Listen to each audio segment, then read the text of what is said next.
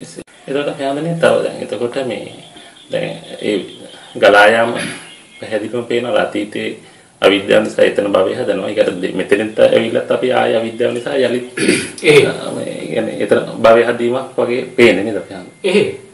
එතනදී මේ මහත්යෝ අතීත සංස්කාර විපාකයට එනකොට පරිසම්පන්න ක්‍රියාවලිය දැන් මහත්යාන ප්‍රශ්නේ අතීතයේ සංස්කාරය රැස් කළා මේ මොහොතේ නැවත අපි අනාගතයට සංස්කාර රැස් කරනවා කියන කාරණේ. ඉතින් එතනදී සිද්ධ වෙන්නේ මොකද්ද? අතීත සංස්කාර හේතුවෙන් තමයි වර්තමානයේ අපි තුල සකස් වෙන සෑම ඇලීම් ගැටීම් උපේක්ෂාවක්ම සකස් වෙන්නේ. මහත්යා මේ මොහොතේ යම් සැප වේදනාවක් විඳිනවා නම් ඒ සැප වේදනාව කියන්නේ අතීතයේ සංස්කාරයක ඵලයක්.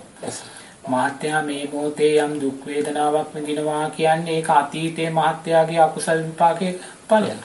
මාත්‍යා මේ මොහොතේ උපේක්ෂා සාගත හිතක් භුක්ති විඳිනවා කියන්නේ ඒක මාත්‍යාගේ අතීතේ කළා වූ කුසල් ඵලයක ඵලයක්. එනමතු මේ මොහොතේ මාත්‍යා විඳින්නා වූ සෑම විදීමක් කියන්නේ අතීත සංස්කාරයන්ගේ ක්‍රියාකාරීත්වය.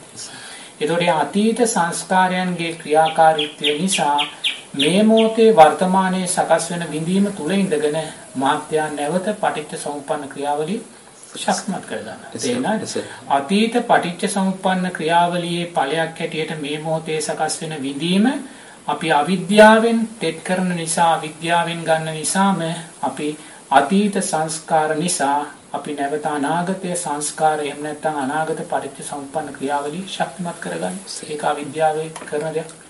සාදු සාදු